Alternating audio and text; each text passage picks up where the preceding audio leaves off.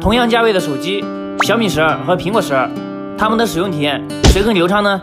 嗯，下面我们就来客观的对比一下。先来看一下参数，然后跑一下分。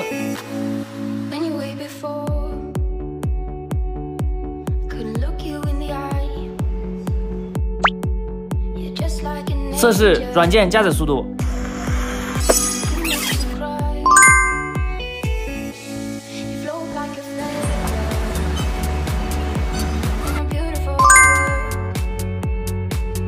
持续加载速度。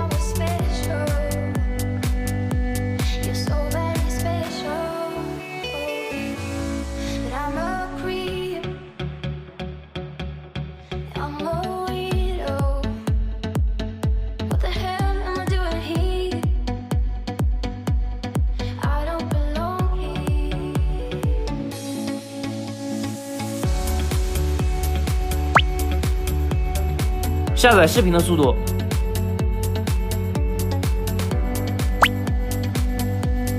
再对比一下动画的流畅度。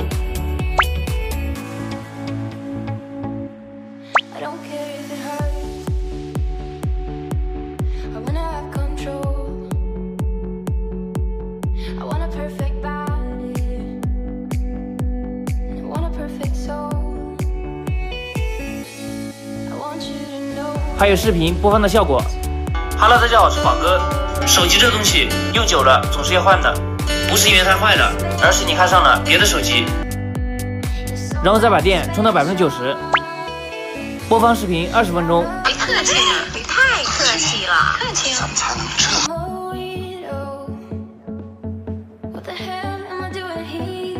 留言。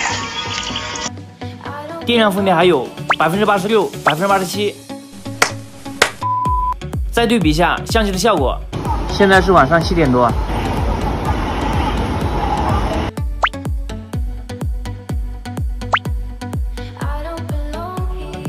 然后再看看外观做工和手感。最后的话，如果让你来选，你更想要哪一台呢？